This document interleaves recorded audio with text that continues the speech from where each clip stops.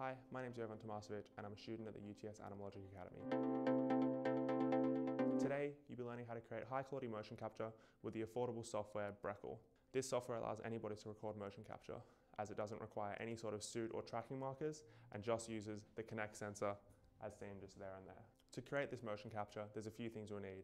The first, of course, is the Brekel software. I'll be using the Brekel Body version 2, which is the most stable and up-to-date release version of the Brekel software. There is a version 3 out, but it's in beta at the moment, so I'd recommend just sticking with version 2 at the moment. You can use a free trial or you can request an evaluation license, which usually your results come back for that in about a day or so.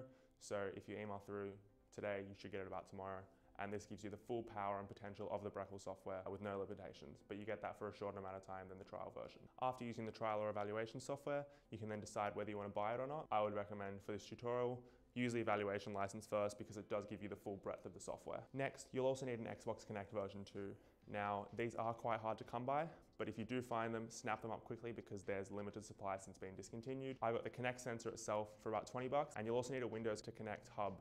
So that is about 40 bucks at the moment, and they're even harder to find. So overall, I spent about $60 on these. I mean, it's the best price that I could find. I haven't been able to see much better online, and if you do pull the trigger on it, it may not have worked great for the Xbox, but it works surprisingly well for this kind of motion capture that we'll be doing. For the retargeting, I would recommend using Blender as it's free and is really, really good to use, and there's a bunch of plugins you can use for it, and the cleanup process is incredibly easy as well. You'll also need a plugin called Rokoko to Blender. Rokoko is another company that creates motion capture software, but for that you require like a suit usually. However, with their plugin, it allows you to do very easy retargeting and works with this Brekel skeleton, and it's the best and easiest and most reliable software that I've found for retargeting so far. Using Brekel, you also do have the option to live stream into Unreal. I've made a video actually about live streaming motion capture into Unreal using a few different softwares, which you can check just in the video up here, but I'll also be showing how to use it at the end of this video here. So if you want to see the compare and contrast, click on that one. Hey, sorry, just a quick note from editing. The Unreal Engine part of this tutorial will actually be coming out next week, not at the end of this video. Sorry about that. There will be links to everything in the description below, and I do have timestamps in case you need to jump forwards or backwards in the video. To begin, install and open the Brekel Body version 2 software. Then connect the Kinect sensor to your computer, and you should see your Kinect sensor come up here. Sometimes it doesn't always register your Kinect sensor, so you might just have to close the Brekel software and reopen it, and it will eventually come up. You might also need to install some drivers, which they do give you an option for when you install the Brekel software. Now, ensure that auto align is on. This will ensure that your Kinect is aligned with the floor, so there shouldn't be too much clipping later on when you take it into Blender. And then adjust your skeleton smoothing. I leave mine at about 2.9, as it can come out a little bit jittery if you use lower options, but you can play around with this at your own discretion. Then choose if you want to be tracking your fingers or not.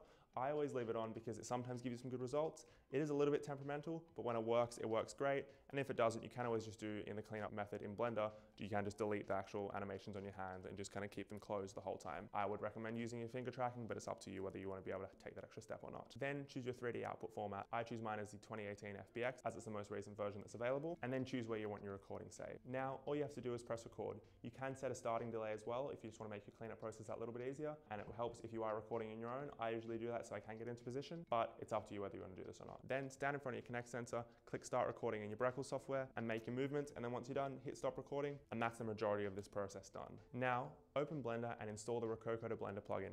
To do this, go into Edit, Preferences, Add-ons, and then Install, and then choose the zip file for your Rokoko to Blender plugin. Then tick it as enabled. If it does come up with an error message, you're probably using an unsupported version of Blender.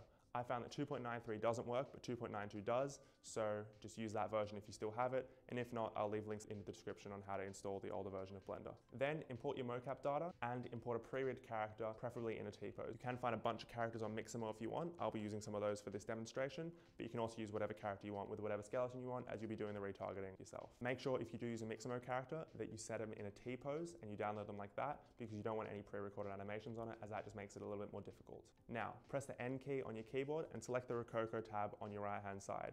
Then choose retargeting and set your source and your target character. Your source is your Brekel data and your target is the target character that you want all the animations to be applied onto. Then press build bone list. It should automatically map a bunch of the bones together, but if it does get any wrong or if there are any missing, you can then manually go through and change these yourself. Also, if there are extra bones that don't exist, you can just ignore them. It should still work out fine as it kind of estimates what needs to go where. Once you finish this, choose retarget animation and you're done. If there are drastically different sizes in your characters, you can turn off auto scale, but I usually leave it on. There is also a rest or current position. I always leave it on in rest because that seems to work better. And that's it. You've just recorded your own motion capture and applied it onto a pre-rigged character for pretty cheap with mostly free software. Now, you can do a cleanup process if you want. Usually I do this because it sometimes does come through a little bit jittery. To do this, just open up the graph tab in Blender, select all your bones, go into pose mode, and then just smooth out the keyframes. To do this, just press Alt O, and each time you do it, it will smooth a little bit more. If there are any bones that are acting really strange and like jumping in positions they shouldn't be, go down into keyframe timeline, find where the bone is happening and delete those keyframes. You can usually just rotate the bone into what looks good just in the middle of these deleted keyframes and it should work fine. And then when you continue to smooth it out, it'll work perfectly. I hope you learned something new today. If you have any questions, please let me know in the comments section below. Thanks for watching and I'll see you next week when I show you how to create live facial capture straight into Unreal.